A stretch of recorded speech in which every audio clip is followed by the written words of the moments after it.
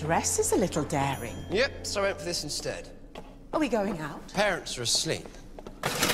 How's Stormcage? I'm on the first night of 12,000 consecutive life sentences. Kind of early to say. Where are we going? Calder Haldoran Bicta. Boring planet of the chip shops. But there is a 400 foot tree growing out of a cliff top on the north side of a mountain in the middle of a sea. And if you take the lift to the top and look up at exactly 12 minutes past midnight on the 21st of September 2360, you can see more stars in one sky than at any other moment in the history of the universe. It's like daylight, only magic. You could read a book by it. Is it okay if I don't? We've got 10 minutes to get dressed. Oh, that's so close to the perfect sentence. Hmm. Did you bring the diary?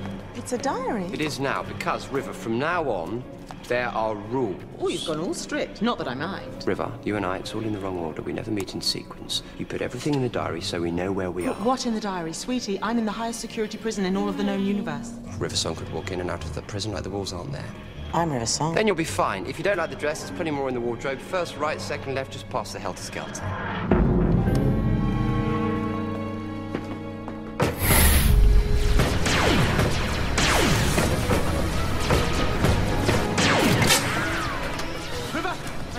Come back here, you nostalgic idiot.